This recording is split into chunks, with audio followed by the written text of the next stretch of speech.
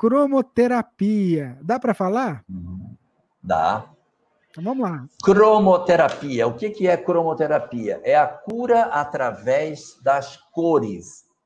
É você utilizar cor azul, de cor, cor verde, violeta, amarela, considerando que as frequências dessas luzes possuem efeitos específicos sobre o corpo humano, sobre áreas específicas do corpo humano, até porque elas sintonizariam com os centros de força, revigorando as energias dos nossos órgãos internos. Então, de acordo com o tipo de sentimento que você está precisando corrigir, inveja, mágoa, ódio, ciúme, o que quer que seja, então você adentra o ambiente com uma cor específica para fazer o seu tratamento.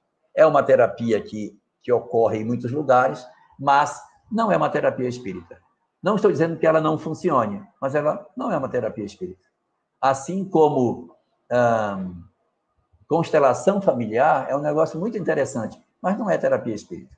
Existem muitas terapias que são interessantes, mas não constituem as técnicas adotadas no interno da doutrina espírita. Portanto, ainda que a gente ache isso interessante, não é no centro espírita que a gente deve encontrar esse tipo de terapia.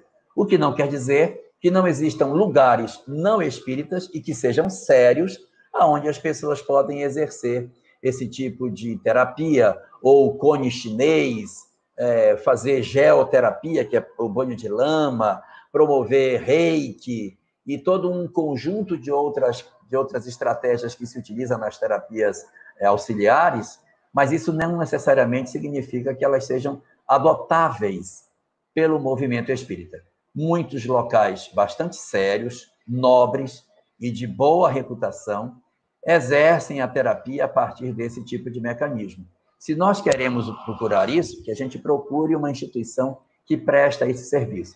Mas a casa espírita, ela deve se ater especificamente às ferramentas que já são preconizadas dentro do movimento espírita para garantir que nós nos mantenhamos isentos das vinculações com alguma, algumas práticas que são místicas e que afastariam daquilo que seria o grande propósito da doutrina espírita. Senão, daqui a pouco, nós estamos trabalhando com cristais, com runas, com tarô, estamos buscando é, comunicações com extraterrestres, e daqui a pouco a mensagem kardeciana de transformação moral, de busca do seu interior, e a descoberta de que não existe nenhum objeto material que possua qualquer interferência sobre o espírito, nenhum amuleto, nenhum objeto externo exerce poder sobre os espíritos, e que o único poder que existe é a mente, vai ficar para trás.